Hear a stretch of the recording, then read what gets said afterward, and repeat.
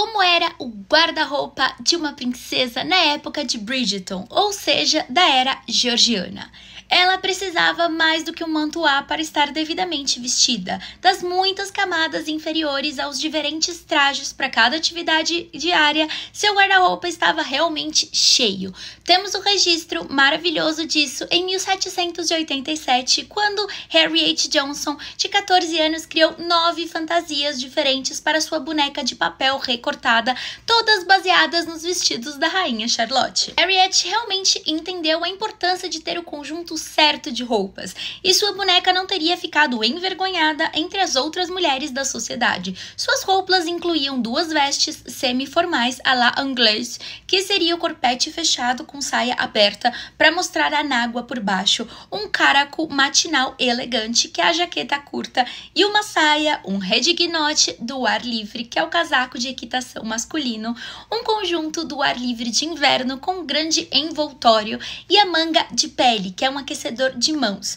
Um vestido interior simples, um roupão semiformal à la circassene, que é um vestido com saia assimétrica, um vestido de luto e um mantuá da corte. Para manter todas essas roupas parecendo e cheirando perfeitas, camadas de roupas íntimas eram cruciais. Elas ajudavam a apoiar as enormes saias e moldar o corpo para as linhas da moda, mas completamente não naturais. De manhã, uma princesa começava o seu processo de se vestir com uma longa camisa. Esse vestido branco simples, como uma camisola, era basicamente sua calcinha, a primeira peça de roupa em contato direto com seu corpo. Elas eram geralmente feitas em linho ou algodão muito fino, e uma senhora da moda podia apará-las com rendas ou bordados com seu monograma. Em uma época em que o banho não era uma prática habitual, trocar sua chemise diariamente ajudava a manter algum grau de frescor. Elas também protegiam as roupas externas caras das secreções corporais. Muitos dos têxteis elaborados, especialmente os tecidos ou bordados com fios de metal, não podiam ser lavados. Então, a melhor maneira de mantê-los limpos era impedi-los de tocar na pele. Em seguida, vinham duas ou mais camadas de anáguas, que proporcionavam calor e volume. Elas geralmente eram feitas de linho grosso ou lã, e dependendo de quantas camadas você usava, elas poderiam se tornar bastante pesadas. No topo, os suportes de linho, um antecessor do espartilho, reforçados com tira de osso de baleia, moldavam o tronco na forma de V desejada e forçavam os seios para cima. Eles também criavam uma base rígida para o vestido a ser organizado. Surgiu-se um belo bolso de tecido, às vezes decorado com belos bordados, amarrado ao redor da cintura. Isso agia como uma espécie de bolsa, onde a senhora podia carregar todos os seus itens essenciais em uma ou duas cartas secretas. Em cima da camisa, anáguas e bolsos colocavam-se os aros, feitos de linho e endurecidos com osso de baleia ou cana. Suas formas e tamanhos evoluíram de acordo com as silhuetas em mudança, em um momento quadrado e depois plano para volumoso.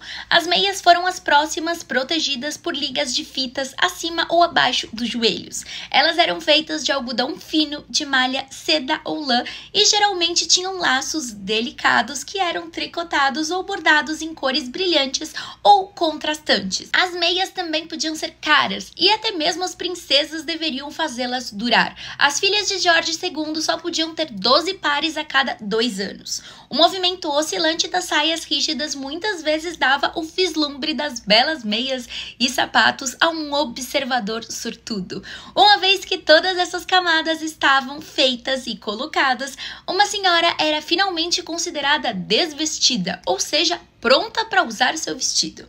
Os acessórios também ocupavam um lugar especial no guarda-roupa de uma mulher rica, principalmente sapatos. Senhoras da moda usavam sapatos pontiagudos de saltos feitos de sedas finas, como damascos e brocados, que muitas vezes eram decorados com traças de ouro ou prata e fivelas e joias destacáveis. Suas sedas não precisavam combinar com o vestido, exceto em ocasiões muito formais, e portanto podiam ser usadas repetidamente repetidamente em diversos conjuntos. O mesmo eram as fivelas. Um paro era suficiente para enriquecer muitos sapatos. Esse calçado frágil não era destinado às mulheres trabalhadoras ou destinado a ser usado no ar livre. Nunca sobreviveria essa combinação mortal do clima britânico e ruas não pavimentadas. Para proteger seus lindos sapatos, você podia usar patins, solas de plataforma de madeira que estavam amarradas aos seus sapatos e ajudavam a levantá-los do chão sujo. Embora protetores, eles eram bastante desajeitados e mais adequados para a curta distância entre a porta e a carruagem. Para uma caminhada, uma senhora estava melhor equipada com botas de couro simples ou sapatilhas. Em casa, as senhoras também usavam chinelos, uma mula sem costas feitas de seda decorada com bordados e rendas. Eles eram delicados, femininos e bastante sexys, muitas vezes podendo ser encontradas em muitas pinturas rococó, especialmente aquelas que retratam cenas íntimas de senhoras tomando banho. Finalmente, havia uma infinidade de guarnições, como babados de renda, fitas, penas e flores artificiais que poderiam ser usadas como enfeites adicionais. Eles eram adicionados no final do processo. Você podia transferi-los de um vestido para outro organizá-los em diferentes combinações para mostrar o seu bom gosto e estilo individual.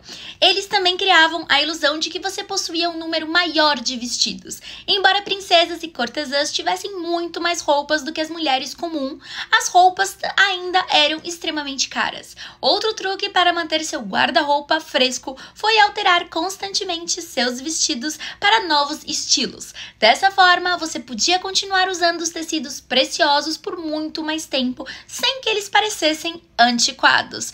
E você pode ver no vídeo extra que tem aqui o 360 de um sapato e de um vestido da era georgiana.